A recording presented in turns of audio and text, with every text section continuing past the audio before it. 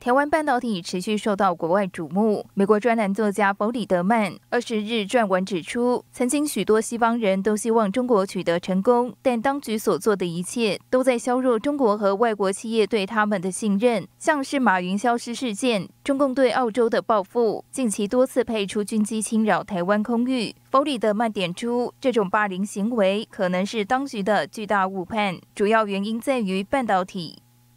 弗里德曼提到，中国拥有十四亿人口，却一直无法掌握台积电最先进的技术。他问过戏骨的美国晶片设计师，台积电有什么中国无法复制的秘诀？结果，设计师们的答案很简单，就是信任。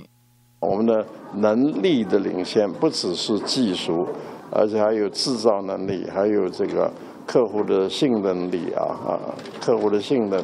弗里德曼分析，台积电帮很多企业生产晶片，多年来建立起一个生态系统，由值得信赖的合作伙伴所组成。他们与台积电分享知识产权，优秀的设备供应商，像是美国应用材料、荷兰的艾斯摩尔，也都乐意把最好的设备卖给台积电，确保台积电始终站在材料科学和光刻技术的最前头。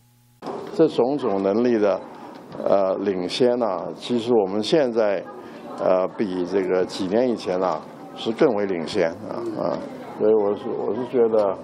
啊，说是什么几年当中要被啊大陆超过是没那么容易。台积电创办人张忠谋在二零一五年受访时曾表示，台积电领先不止在技术，还有客户的信任力。直到现在，台积电预计明年生产三纳米芯片。反观中国最大的晶片制造商中芯国际，才刚要开始生产十四纳米晶片。弗里德曼引述一段美国晶片高层的说法：中国人已经做到复制和模仿，但他们从未创造过像台积电那样的生态系统，因为缺乏信任。